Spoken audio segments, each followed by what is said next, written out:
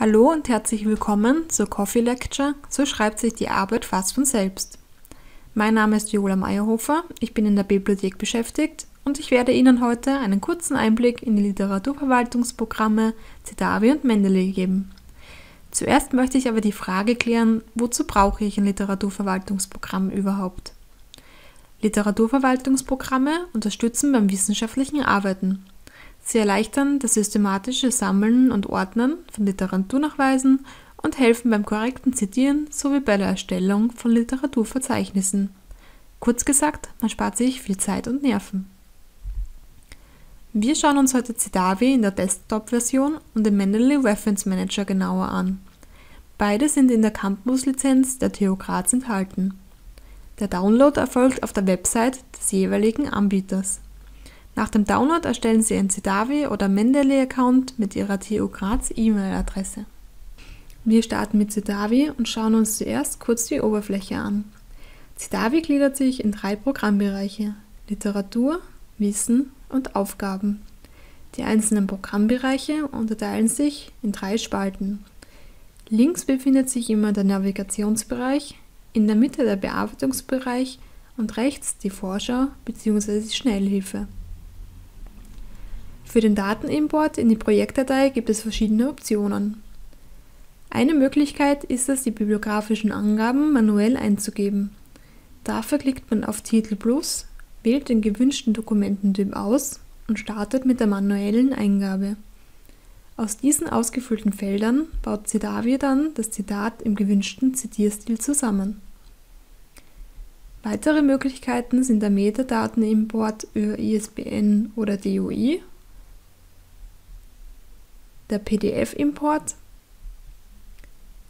oder der Web-Import mit Hilfe des Citavi Pickers. Die Funktionsweise des Pickers schauen wir uns kurz in der Library Search an. Ich suche in der Library Search nach dem Begriff Sustainable Construction and Austria und erhalte folgende Ergebnisse. Oben rechts in der Menüleiste des Browsers klicke ich auf das Citavi-Symbol, um den Picker zu aktivieren. Der Picker erkennt bei Datenbanken und Websites die Referenzen und ich kann auswählen, welche Titel ich in meine Projektdatei übernehmen möchte. Wenn ich einen einzelnen Titel geöffnet habe, kann ich auf das Citavi Picker-Symbol neben der DOI oder der ISBN klicken und der Titel wird in meine Datenbank importiert. Eine zweite Möglichkeit für Webimporte ist der RIS- oder BibTeX-Export. Dafür markiere ich meine gewünschten Titel klicke auf Export und wähle das RIS- oder BibTeX-Format aus. Über die Importfunktion in Centavi importiere ich das gewünschte Format. Die übernommenen Daten muss ich aber immer genau überprüfen. Jetzt habe ich schon ein paar Referenzen in meiner Datenbank gesammelt und möchte diese nun genauer bearbeiten. Dafür öffnen wir ein verknüpftes PDF in der Vollansicht. In den verknüpften PDF-Dateien kann ich direkt Wissenselemente wie Zitate oder Kommentare erstellen. Ich markiere eine Textstelle und definiere diese als wörtliches oder indirektes Zitat, verfasse dazu einen Kommentar oder erstelle eine Zusammenfassung. Ich wähle in diesem Fall wörtliches Zitat aus und definiere eine Kernaussage. Zusätzlich kann ich auch Bildzitate erstellen. Diese eignen sich besonders für Abbildungen wie beispielsweise Grafiken oder Tabellen. Alle Wissenselemente, die ich im PDF erstelle, kann ich in Word einfügen. Dazu später mehr. Das Besondere an Citavi ist, dass es neben der klassischen Literaturverwaltung eine Wissensorganisation von gesammelten Zitaten und Ideen sowie eine Aufgabenplanung für die Selbstorganisation bietet. Dafür schauen wir noch kurz in den Reiter Wissen von Citavi. Hier sehe ich alle Wissenselemente, die ich in den verknüpften PDFs erstellt habe. Ideen, die nicht einzelnen Titeln zugeordnet werden, kann ich hier ebenfalls aufnehmen. Zusätzlich habe ich hier die Möglichkeit, eine Gliederung der Arbeit anzulegen und die Referenzen sowie die gesammelten Zitate den einzelnen Kapiteln zuzuordnen. Die Aufgabenplanung kann ich nutzen, um mich selbst und die nötigen Arbeitsschritte für meine Arbeit zu organisieren. Ich kann allgemeine Aufgaben, aber auch Aufgaben für einzelne Titel erstellen. Beispielsweise möchte ich diesen Titel in der Bibliothek entlehnen oder das Literaturverzeichnis auswerten. Zusätzlich kann ich einen Zeitrahmen festlegen oder Aufgaben anderen Teammitgliedern zuweisen.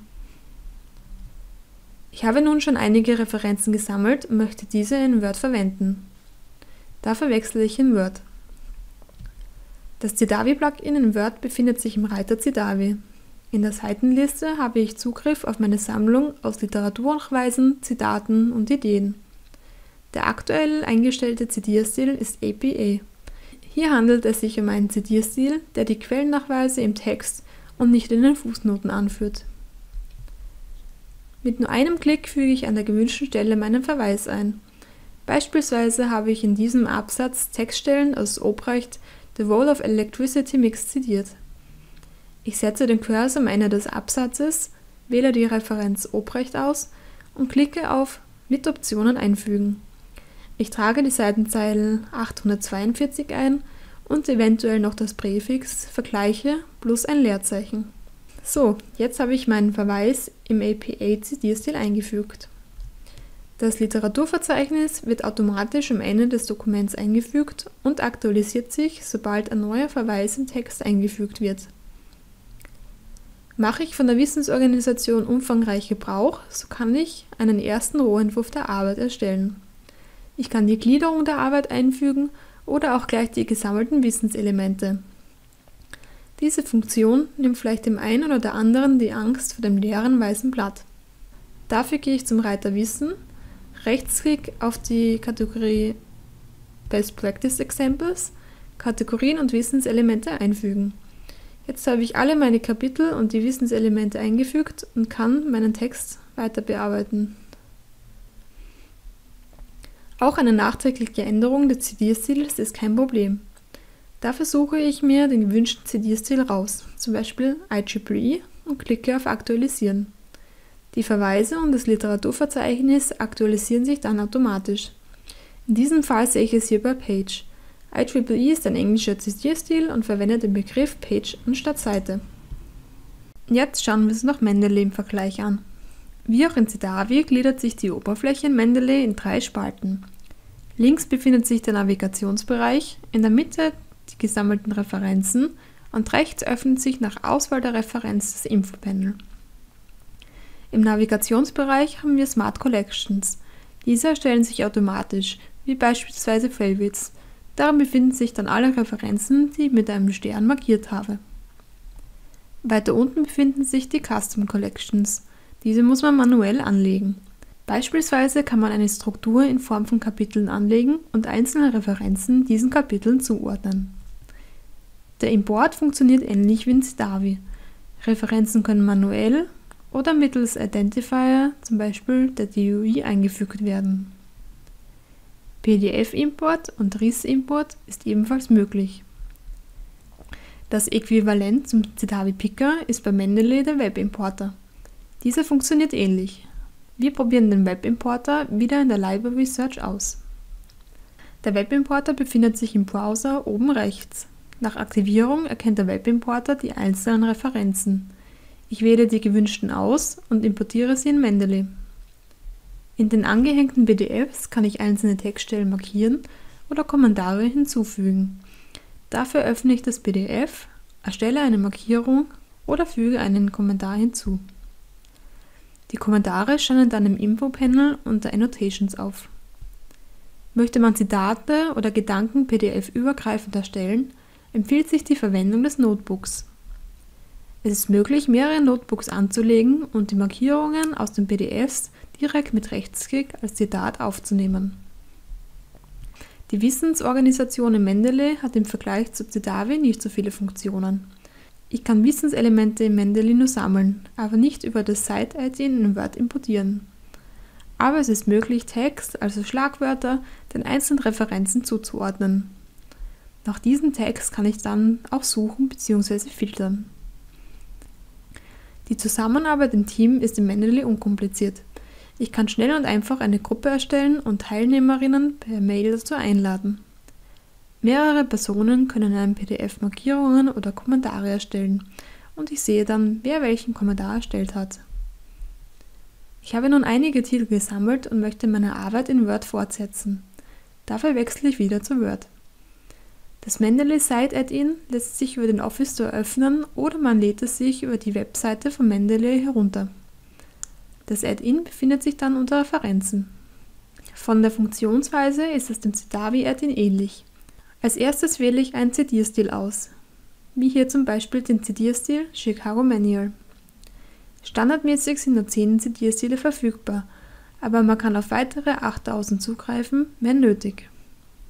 Nehmen wir nun an, ich habe in diesem Absatz Teile aus The Role of Electricity Mix zitiert und möchte nun den Verweis einfügen. Den Cursor setze ich am Ende des Absatzes. Ich klicke auf Obrecht, ergänze die Seitenzahl 842 und den Präfix Vergleich und klicke dann auf Insert Citation. Das Literaturverzeichnis erstellt sich nicht automatisch. Ich muss es für die drei Punkte Insert Bibliography manuell einfügen. Zum Abschluss möchte ich die beiden Programme nochmal kurz gegenüberstellen. Cidavi bietet, wie man in der Demo gesehen hat, einen großen Funktionsumfang. Das erfordert natürlich aber auch eine gewisse Einarbeitungszeit und vielleicht werden gar nicht so viele Funktionen benötigt. Eine Besonderheit von Cidavi ist die Möglichkeit der Wissensorganisation und der Aufgabenplanung. Wissenselemente können strukturiert und zueinander in Beziehung gesetzt werden.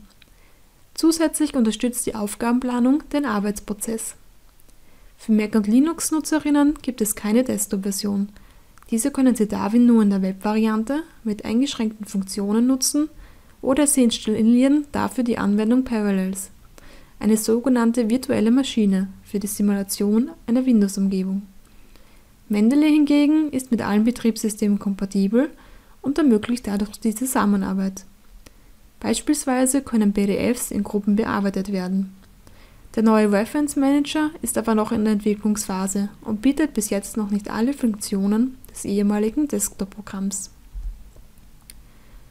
Wenn Sie sich noch nicht sicher sind, welches Literaturverwaltungsprogramm für Sie geeignet ist, kann ich nur den Softwarevergleich der TU München und des LUB Dresden empfehlen.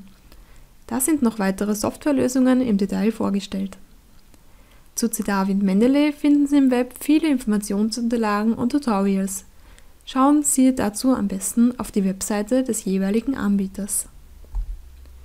Ich hoffe, ich habe mit dieser Demo die Vorteile der Verwendung eines Literaturverwaltungsprogramms gut hervorheben können.